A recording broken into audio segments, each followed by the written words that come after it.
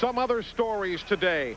Bill Elliott is not here. His dad passed away early Friday. Matt Kenseth will be subbing while George Elliott's funeral is held today at 2 o'clock Eastern Time in Georgia. Where Derek Cope finally finds a home on the racetrack.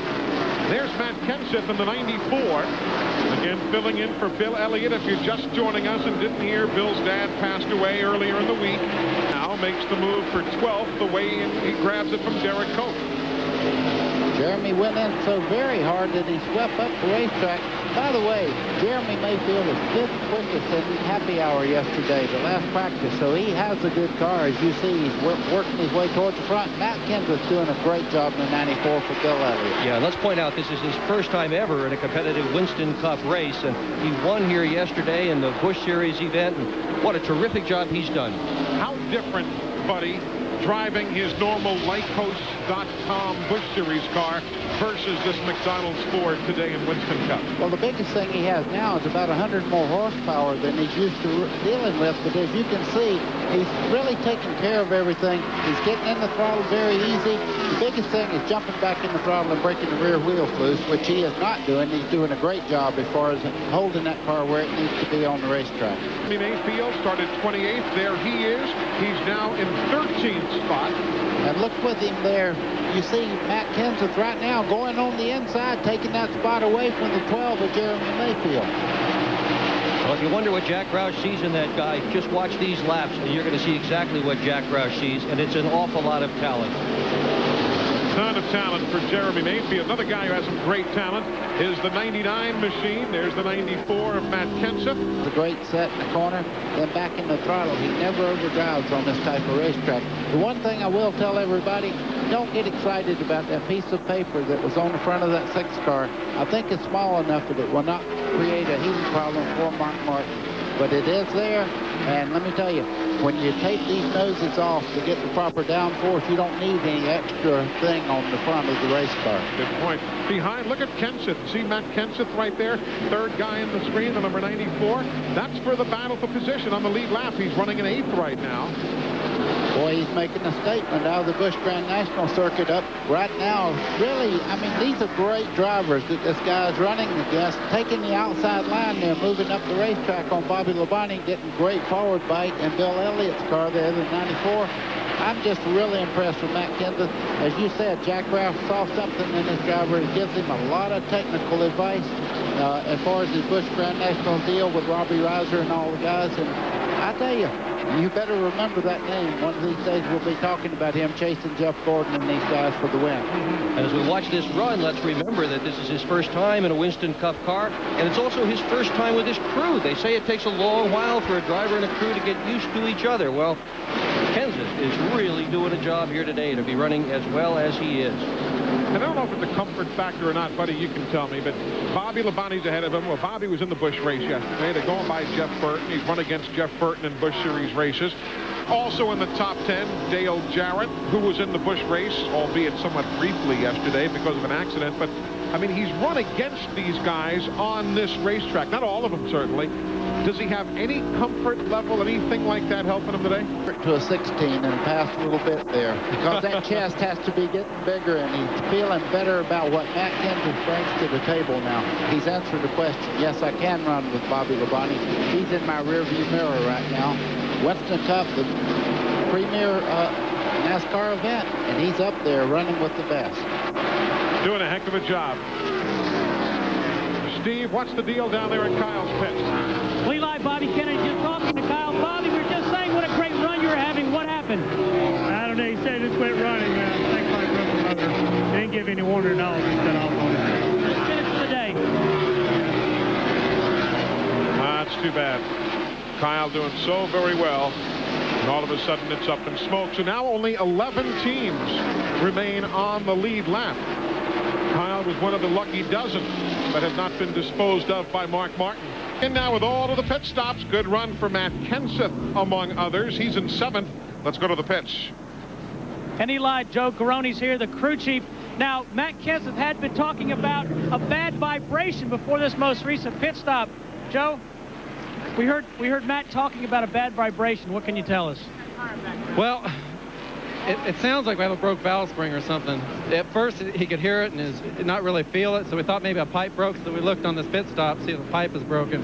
It doesn't look like a pipe's broken. We're just going to have to wait and see here. All right, let's go down pit road to Matt. I think they knew. Me too. It really was. It's, I think we estimated we had about 20,000 people out there watching that show last night. It so certainly it was, looked like it. It was a lot of fun. Great crowd, too. Uh, 20,000, it sounded like about 50,000. There you see Matt Kenseth coming back in again. Tracy, I know you're tied in with uh, TNN Outdoors yes, as a, a sure promotional spokesperson, and uh, you know it's a natural. You got NASCAR, you got the the country sound, you got the outdoor life. It all kind of goes hand in hand. It sure does. I mean, I, I told that crowd that last night. I said, y'all are NASCAR fans, and I asked them if they love to hunt and fish, and now everybody in the whole crowd screamed and raised their hands, and uh, I said, well, that's my kind of people right there, and it is. It's I think you see that correlation, uh, and you know, it, not in many sports. Steve Byrnes, it's, it's a remarkable story. Uh, he was won and sold very well. Eli, I've never seen anything like it. None of the guys on the team seem to know what's wrong. They raised the hood twice on that last caution Said crew chief Joe Garone hit a wire that might have been loose. I don't know if that was enough to fix the problem, but it really is hauling the mail now. It really is, no doubt about it. Solid run. One of only nine teams currently, or rather 10 teams currently on the lead lap. There you see the First Plus Financial race summary. Average speed, 123.071. The record for the 400s here, 132 and change.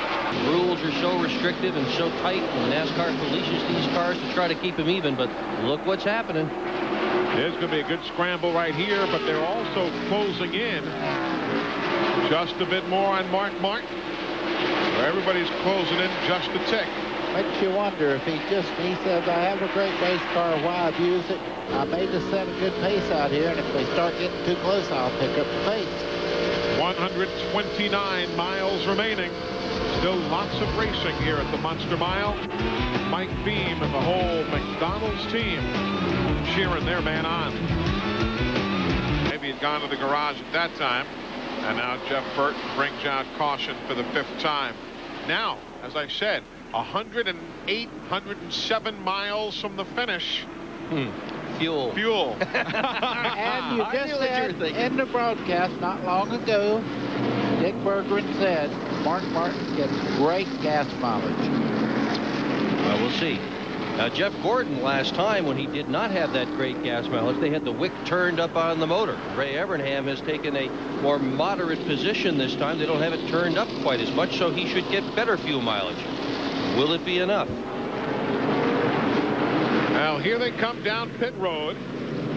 It'll be lap 294, 106 miles to conclusion.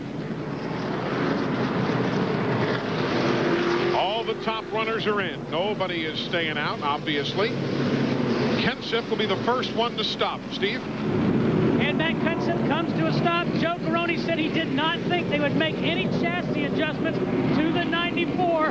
Right side tires going on. They do make a chassis adjustment on the right side, shifting weight to the left. Now the left side tires coming off. Four tires for Matt Kenseth.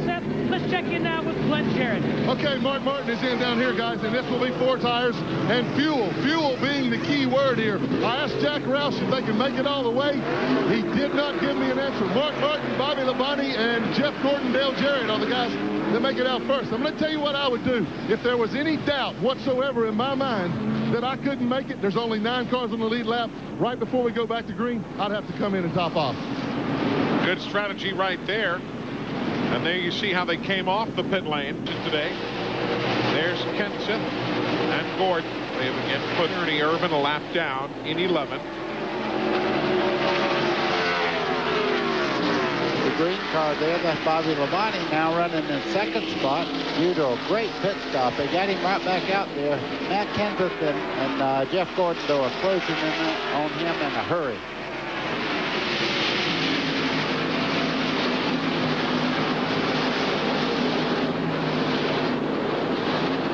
Quick lap last time by was Jeff Gordon's lap.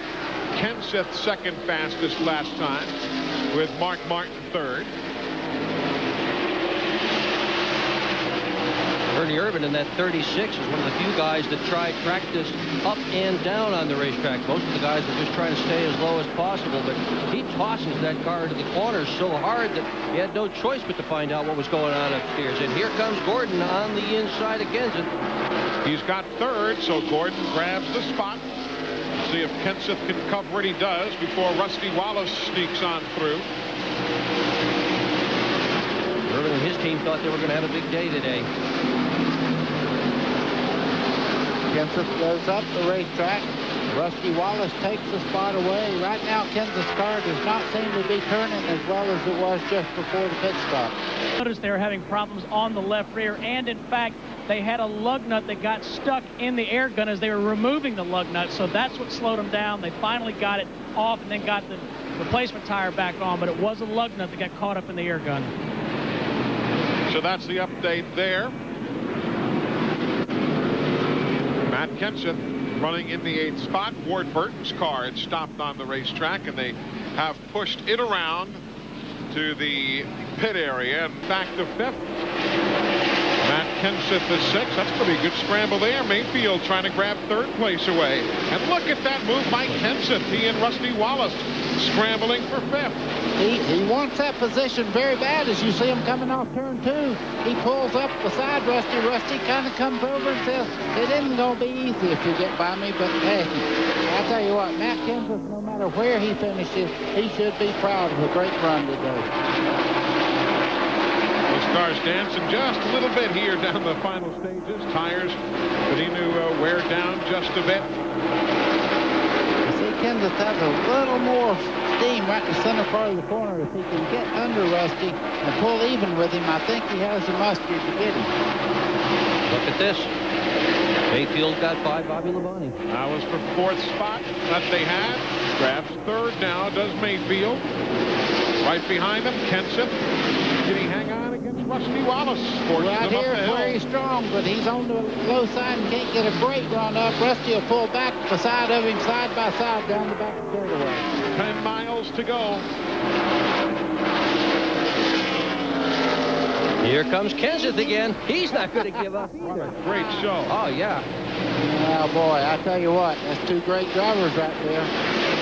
And when I say that, Kenseth has proved how well he can drive today. Can you imagine how good this Kenseth kid is going to be when he gets some experience? Oh, boy. Uh, what that did, though, that brought Dale Jarrett right up on the back of Kenseth now. From first place, Mark, to second place, Gordon is still a second. Then it is nine seconds further back to these guys right here. They're a total of 10 seconds back of the race leader. There's no chance they have to catch Mark Martin. Right now, they're just roaring about each other. Well, there's only eight laps to go, but I tell you what, Kendall's going to give it another try, and he's even going to try it on the outside of Rusty Wallace. Wow. Whoa, baby. Oh, I don't think so. Didn't force the issue. No. One thing to be smart, another to be fast. If you're both, it's twice as good. Well, Matt Kenseth, your first Winston Cup start. Congratulations, an outstanding effort, sixth place. Yeah, we ran pretty good. Um, the McDonald's Ford, you know, handled really good all day. Um, I probably didn't call for quite the rest, right adjustments there uh, in the middle of the race when I was running second to Mark. You know, we were running the same lap times, we are just a little tight. So uh, I wanted to free it up. We got a little too loose, and then we came back to being pretty good again. But them guys at the end of the race step on the gas. You know, in the middle of the race, I think he was just leaving me where he wanted me, and uh, you know, everybody made the right adjustments. And then they have a lot more experience in long races, and uh, kind of took off and left me. But um, I'm glad we got a, a good run for the Bill Elliott number 94 car, and uh, I hope they're doing all right at home. Well, congratulations. Eli? Classy young driver with one whale of a future ahead of him.